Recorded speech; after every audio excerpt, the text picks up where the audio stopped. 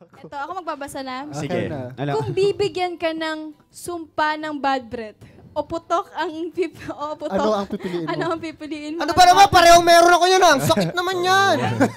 Nagsulat niya. Kaya hindi tinanong sa'yo kasi pares perong kanya Grabe eh. naman yun. Wala. Oh, baka sabihin mo Buti na na lang, naman wala. toothbrush muna ako Ano bago mag-host. So dapat may piliin kayo ah. It's Oo. either bad breath or putok.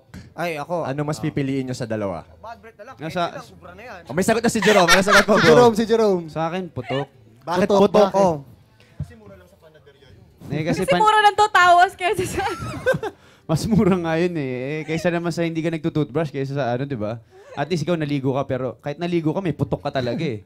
At least yung nagtoothbrush ka, ang sama naman nun, nagtoothbrush ka na, May- baho pa ng hininga mo, ang lala mo na nun. Oo, may point, may point. So leveling ah. So Ay, mas oo. iba pag ano, sa, sa bad akin breath. siguro pipiliin ko. Ano na lang. Ano, ano, ano? Ba- bad breath na lang. Oy, Bakit? Kasi nga, yung putok, parang ang hirap naman ng putok. Kasi, ang hirap maligo ng maligo para mawala. Pero yung toothbrush, madali lang. Toothbrush ka lang, toothbrush, ganyan. Sabi nga ni Nico, candy lang katapat niya. Candy lang. O Oh, kaya box, gum, box na okay. pula lang yun. Ubra na yun. nag-brand ka pa talaga. Ito na yung placement na babayaran ni Bazooka Nico. daw. Branding bazooka. pa talaga. Kasi- Ano si Joshua? Oh, cheeseburger, Parehas cheeseburger lang. Wala kasi. ni amoy nun, Brad. Ano? Yung burger lang daw. Ano na lang ako? Ano? Ikaw, gusto mo lagyan ng tawas yung ngipin mo. Lagyan mo ng Pwede yun Colgate ah. yung Pwede yung kilikili mo. tawas sa ngipin ah. Pampaputi yun eh. Ba- bad breath na lang ako. Kaysa Bad putok. breath. Bakit Oo. bad breath? Hirap nung may putok, pare. Hirapan ka gumalaw eh. Hindi Okay ka naman ma-hold up.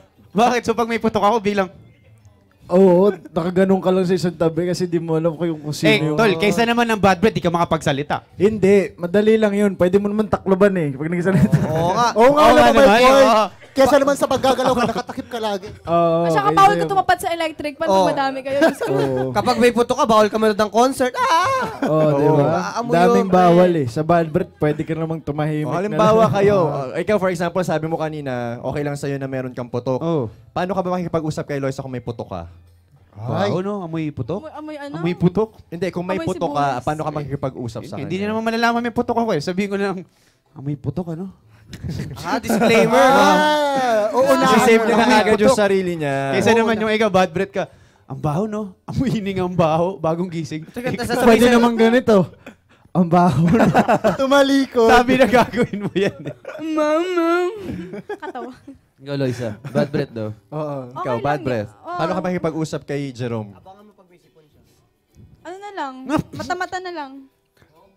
Sign language. Facial expression na lang. Sign language. Pwede, di ba? Why not? Eh, kung sa